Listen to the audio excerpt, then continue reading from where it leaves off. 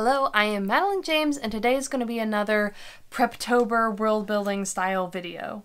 If you haven't seen any of my other videos, I am going to be starting a brand new novel for uh, NaNoWriMo, which I actually technically already started the first scene because I worked on it during the Worldwide Write-a-thon, which is still technically going on. Um, but I've also been working on my world building um, Bible, which is right here, is glorious, is many things. And one of the types of items that I still need to expand on is settings. And this is something that's really, really important to me because I'm not just using a sort of default kind of setting, like, I really need to set it up in a way where it makes sense. The world that my story is set in was sort of Renaissance era, but very northern. It's not in any of those, like, more mainstream areas, so I've had to do a lot more research on the type of architecture and structures and adjust it for the type of magic in my world. And there's also a sort of I keep using the word apocalypse, but it doesn't actually feel like the right word. But basically, there's a ton of like beasts that invaded about 15 years ago and decimated the population, and they've all retreated into these like settlements um, that are protected. And so that has obviously had a big impact on what the areas they live in are like because they have to be very defendable. Um, and it has to do with the magic and, and everything, so it's complicated, right? And I want to make sure that all of my choices are very intentional because it's a lot to think about, so I can't really just come up with it on the fly. So, I have already gone through and done my sort of major settings, and I will give you a quick, like, I'll show those to you, but Today, my goal is going to be world building out the other settings that I kind of am going to need for my outline. There was two big ones, which was sort of the regional map, which I've done, the main characters um, like village post, that's done, and then the sort of um, headquarters where the gang that she infiltrates is. So I have those major settings already figured out, but then, let me find my notebook. Where's my to-do list? So I have a to-do list from outlining, which I haven't, you know, I still have a decent number of things to do.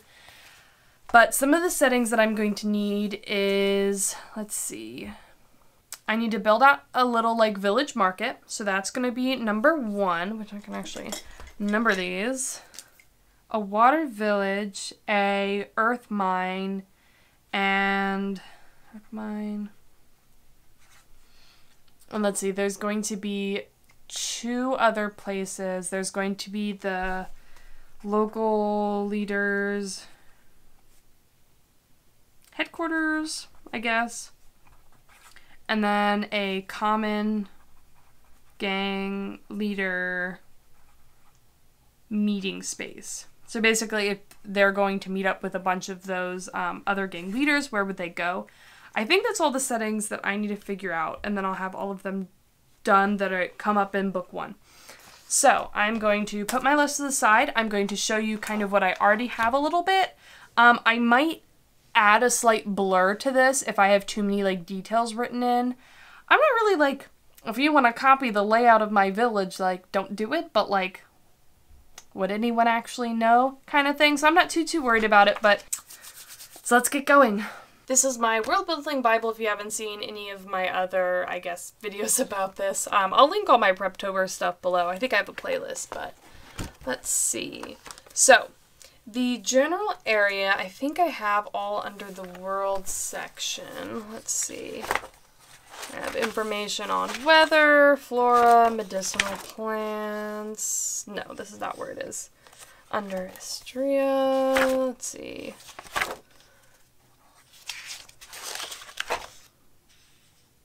This is my sort of regional map. So essentially, most of this is taking place at the base, or sort of at the base of a mountain. They're still in the highlands and sort of like a mountain valley region. Um, but I have some of the major ridges kind of shown on my map, but there's also a lot of, um, like none of this land is actually flat. It's all slowly going down in elevation. But the one main setting is here, which is the guardian post that the main character lives in, and then the fort that is here is sort of where the gang is. So these are two settings I need. I need to figure out some of the water villages um, and some of the earth, the earth mine, and I think I need the general lieutenant's base, and I think there's another place further. Um, but this regional map sort of let me make it to scale. So I have, um, let me see if I actually have it here.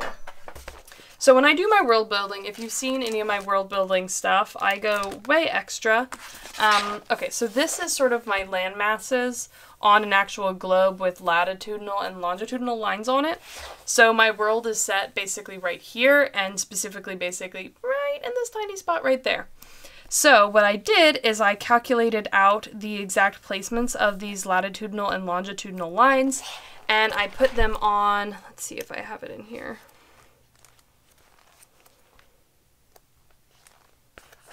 None of these are really done yet, but I put it on basically a map like this where I drew the lines out and then using math of basically how much distance is between those different lines, um, I figured out, you know, what my distance scale was. Essentially, if you are, say, 30 degrees north versus 45 degrees north, that distance from one line to one line is going to be slightly different. So I basically, this isn't really right here where the story takes place, isn't really that big of an area. So I kind of figured out roughly what um, latitude that was and then used that to calculate how far of distance it was longitudinally.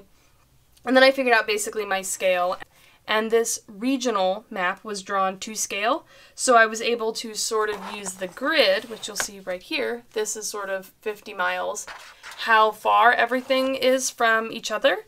So then I created a traveling section here, which I don't know if you can sort of see this, but it essentially has um, the amount of travel time it would take from one distance to another. And traveling distances are complicated because it depends who's traveling, how you're traveling, and what the land is like.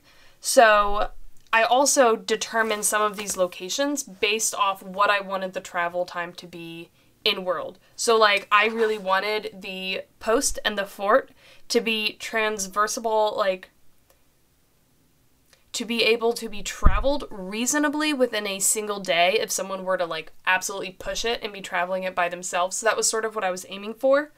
Um, and so, based off, you know, there being the rivers and whether or not they could find stable ground, um, hiking is sort of a sort of max hiking speed is maybe 20 or 30 miles a day, which this I think is about 40 miles.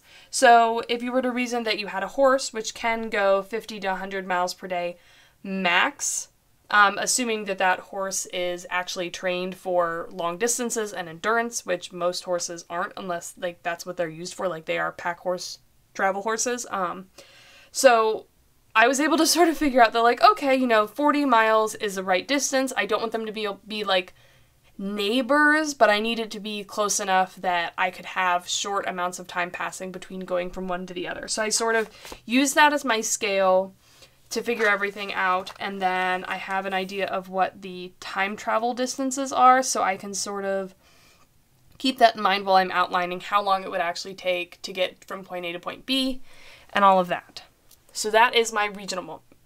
Oh my gosh, I keep saying regional instead of regional. This is my regional map.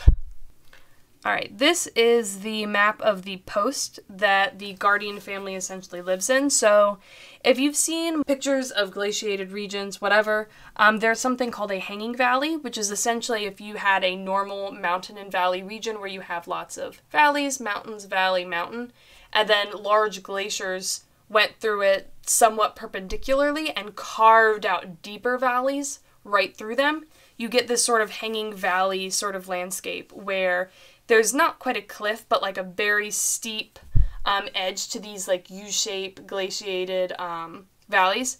And so you tend to get um, waterfalls and it's very not transversable. So it made sense for there to be small villages in these sorts of areas as stopping travel points when people in the world before went on like pilgrimages or something. So essentially, my inspiration for this post was it used to be a very small village that was sort of a stopping point along a pilgrimage path.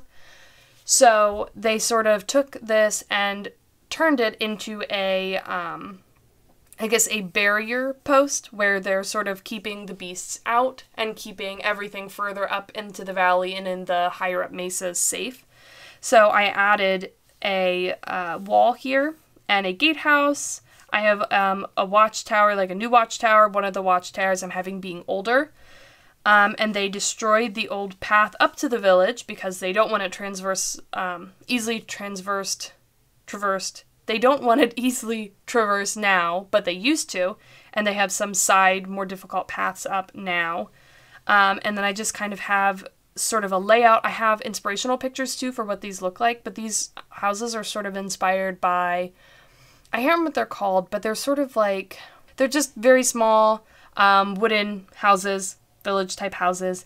And then I constructed a sort of more modern style main house that they would have built for the whole Guardian family once they established it. So it sort of has some um, architectural inspiration from the layouts of some of the bigger towns and cities where they're from. So these houses would all have been original to the village, and this would have all been um, added afterwards. And so that's sort of how I put this one together and what my inspiration was. I did look at some maps of villages and found some inspirational pictures to get an idea of what layout I sort of wanted, but this is the Novak Post. So the other big place that I have, which let's see. Yes, okay. This is the uh, Murrah River Fort, which is essentially where the gang has taken up post and they did not need to be in quite as defensible as a location because um, they have a type of magic that lets them fight the beasts more. So they're able to sort of make do out in the open. It's an urban area, it's an actual town, right? So there's going to be a sort of abandoned town around this, as you would expect in a city. But then the actual fort itself is sort of a. I don't remember what this is called, but there's a style for this style of fortress.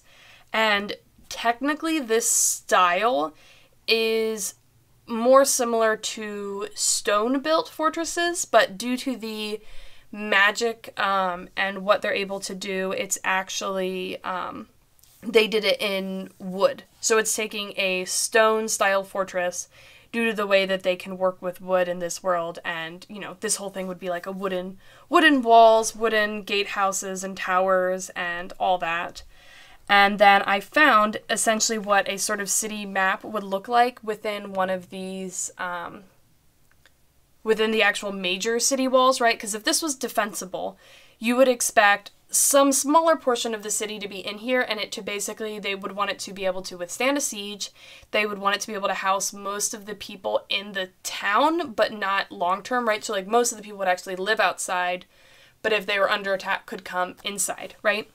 So I have portions of this as it would have been um, 15 years ago before their apocalyptic event. So, this sort of area of the city, this sort of area of the city is all sort of as it would have used to be, maybe some of this too. So, they have some like bigger houses, they have a barracks.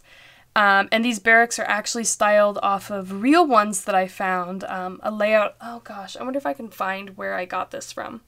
I don't remember, but this layout right here is actually the layout of a real um, fort, like a small fort barracks, and I figured this would be sort of like a fallback location if the actual fort itself got um, infiltrated. They could fall back to the barracks as a last sort of fighting place. So that's sort of how I have that set up, and I have small maps of the interiors of the buildings in here that would be relevant.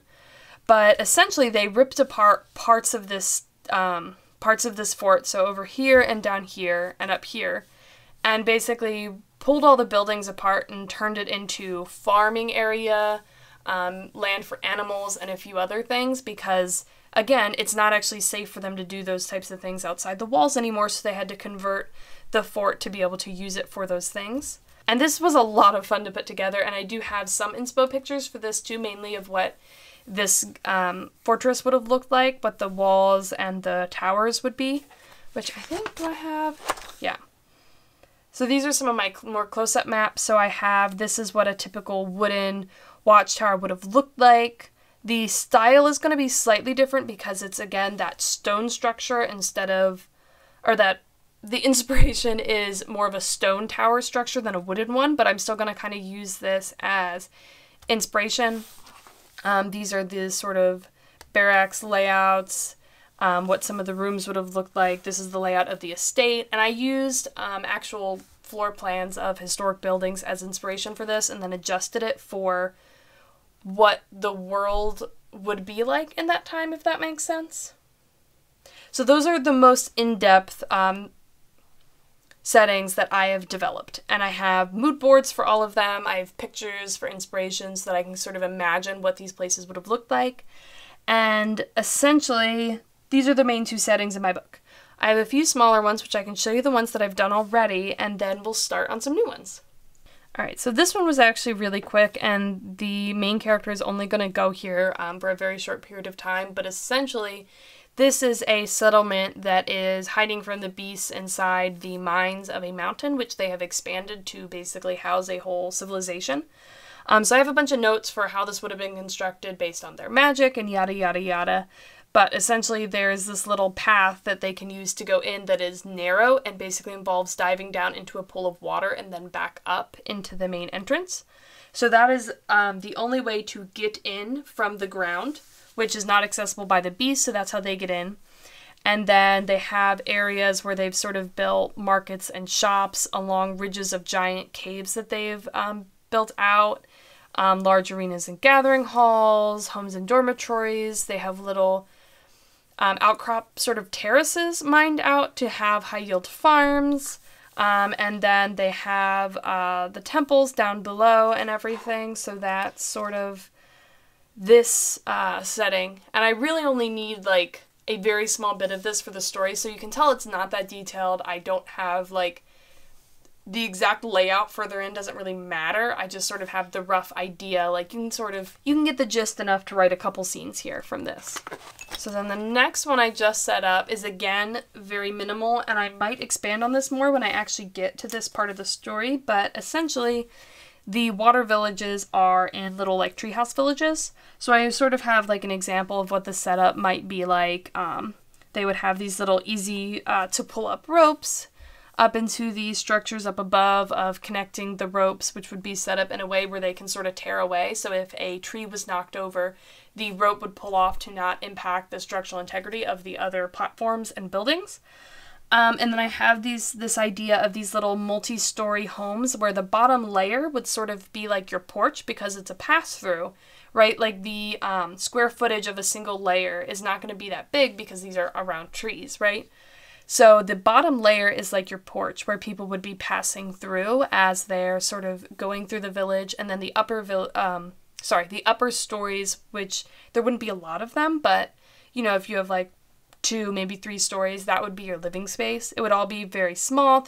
These people would have ground farms and everything because their magic um, sort of lets them know when they need to hide from beasts, so they kind of know they're coming. So they basically just need all of their stuff and homes to actually be out of reach, but to be able to then access the ground for, you know, farms and gardens and all of that sort of thing.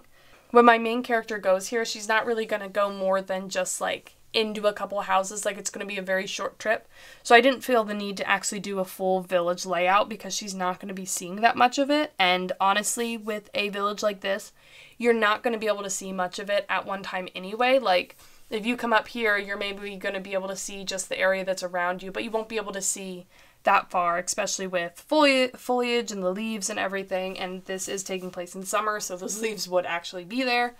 Um, okay, so the first one that I'm going to work on right now, and I'm going to sort of talk you through my process. I don't really know exactly what I'm doing yet, so we're going to kind of talk through this, but I am essentially going to be working on the market for this sort of post. And typically, you know, if you think about a market from this kind of time, it wouldn't really be in a village this small, right? Like, if you remember the map, there's like 1, 2, 3, 4, 5, 6, 7. I have maybe like 12 houses on here, which there would have been probably a little bit more than that, like further in, but you know, even if there's like 20 houses, 30 houses, you're talking at under 100 people. There probably wouldn't be a um, concrete, permanent market structure. However, the way this um, post works is they get a lot of their supplies from the sort of settlement that they're protecting. So there's, I'm not sure necessarily if it'll be rationed, but there's probably a portion of things that people can just get once a week or, you know, sort of like rations or some things that people can buy with their excess money um, that they can sort of choose to get. So let me just write that down as a note, um, like once or twice a week. It would probably need to be something that was at least partially set up so it wouldn't be permanent. So maybe mostly temporary. And part of the reason for this is I think that probably during the winter, they might not have had it outdoors. They might would might have had it inside the main house, but just I guess a little bit smaller and more limited. There probably wouldn't be quite as much trade going on in the winter because the winters would be very severe. So people would be kind of stocking up during the winter. So mostly temporary in summer winter market, smaller and indoors. And then it would make sense for it to be near the main house because that's probably where most of the stuff would be brought and stored that's not sort of sold, if that makes sense. So if I look back at my village map, I sort of have this more open square right here, which is if you take the main gatehouse, which they wouldn't really be using, very often. Um, the supplies would be coming from further up into the valley and up into the mesa. So I'm sort of thinking it would make sense for them to bring it all the way down to the main house and then sort of maybe this courtyard here is a little bit bigger, you know? And there's like space over here to sort of set it up in the grass or whatever. So thinking about that sort of a structure or placement. So Let's see.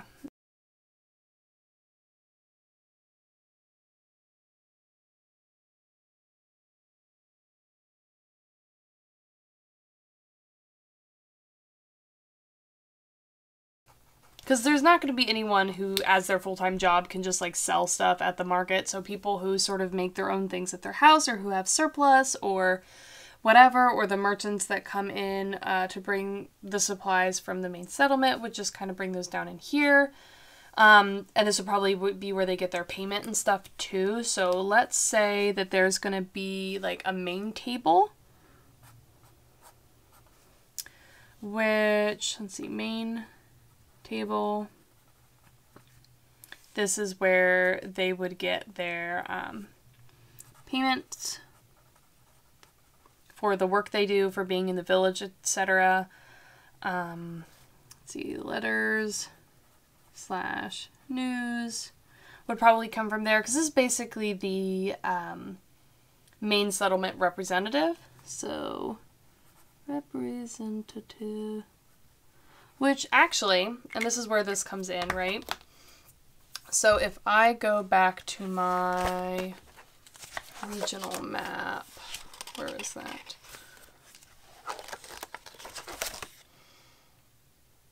Okay.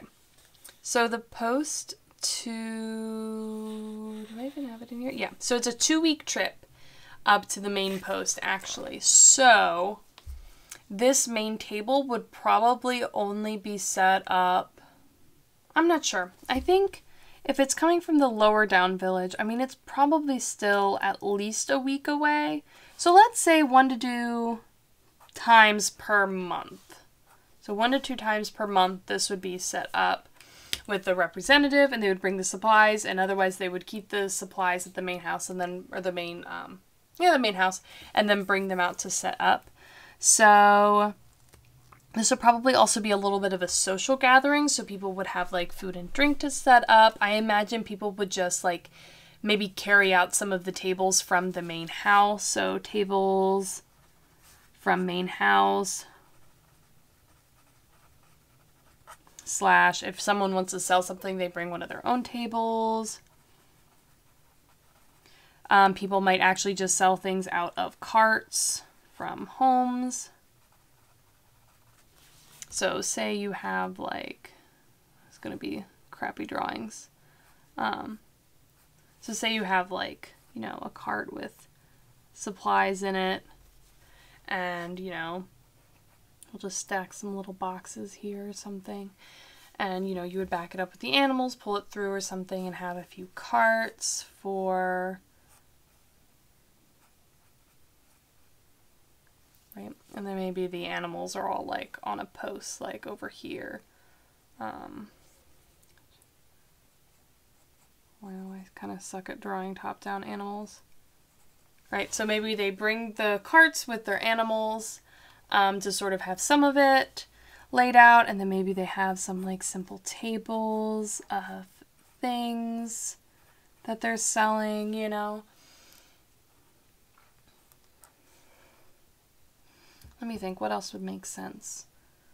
I don't imagine there would be seating. That just doesn't seem super realistic. Um,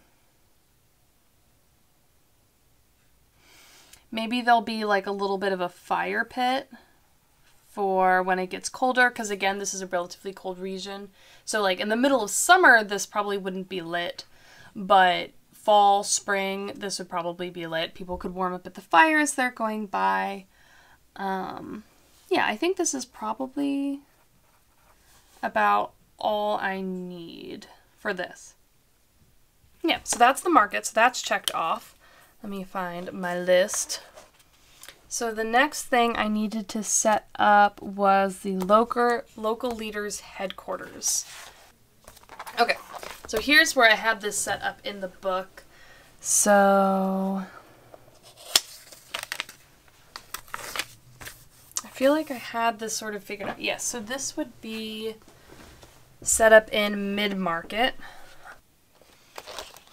Okay, so mid-market is sort of right here. Um, in between the, these um, lines here are rivers, which normally is not a kind of major placement for a city, right? They would need to be somewhere with a water source.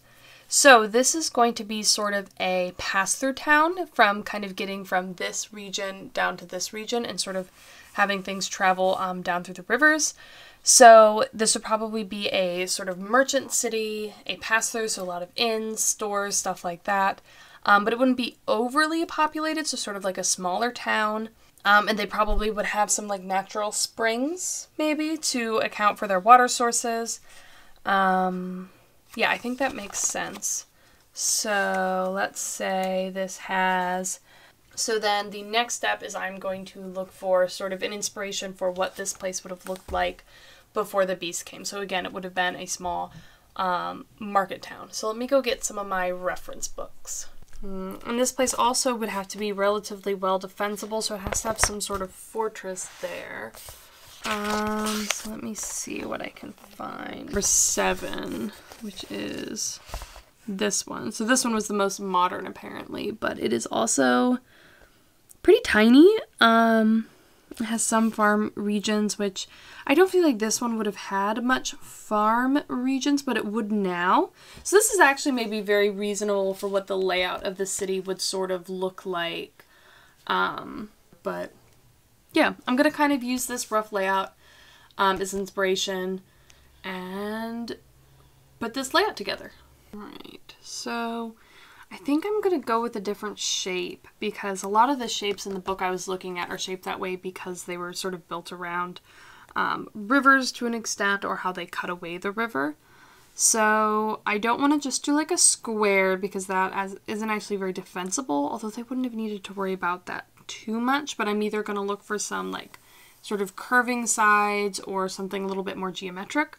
If I want it to be a little bit more modern, I think I want to lean towards it being more geometric than if it was a little bit older.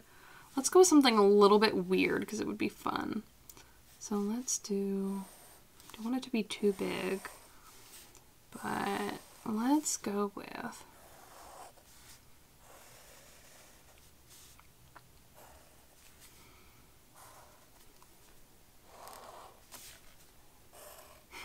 this sort of a shape, which is a little weird, but I think it sort of makes sense because the roads would probably be where people would be traversing um, the most because it's not going to be a very well traveled area um, or easily traveled area. So, surrounded by thick forests.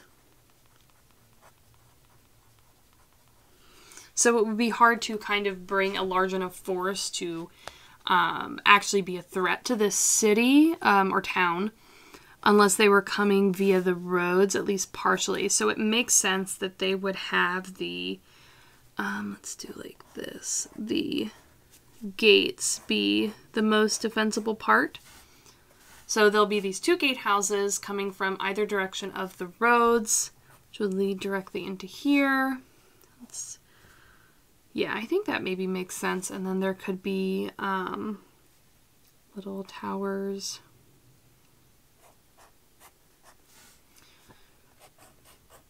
each of the corners.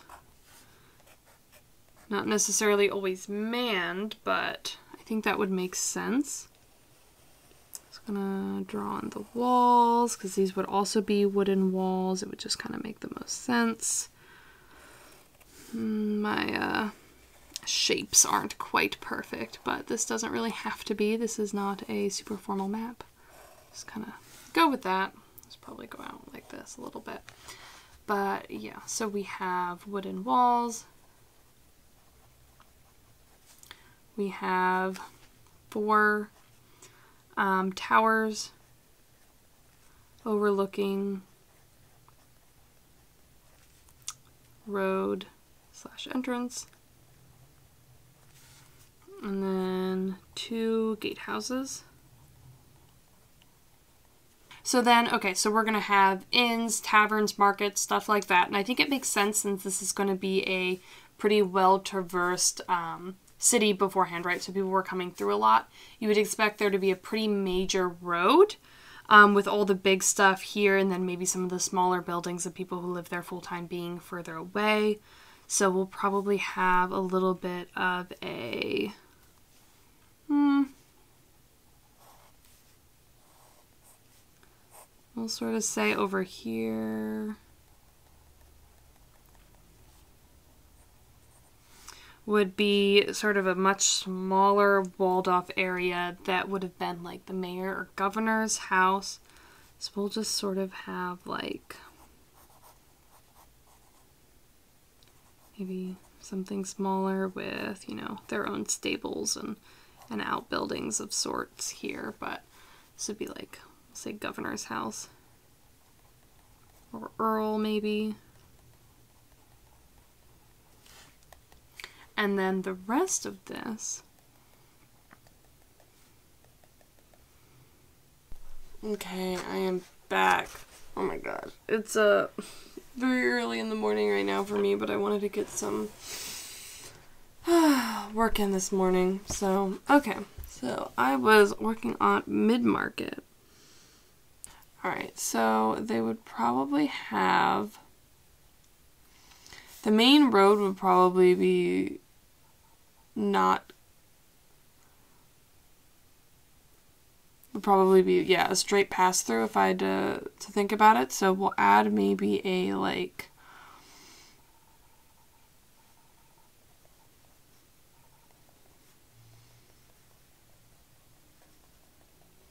a small little like market square with maybe like a well where things could be set up.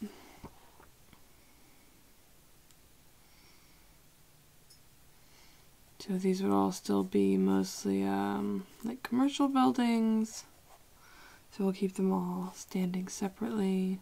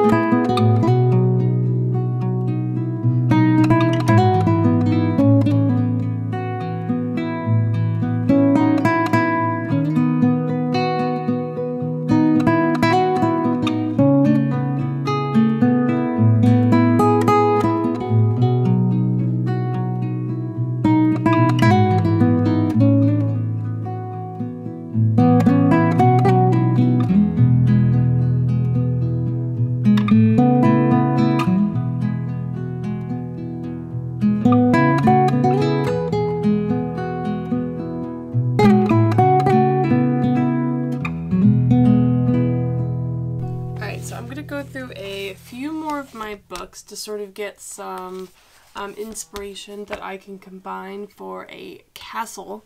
And this would be more of a separated castle.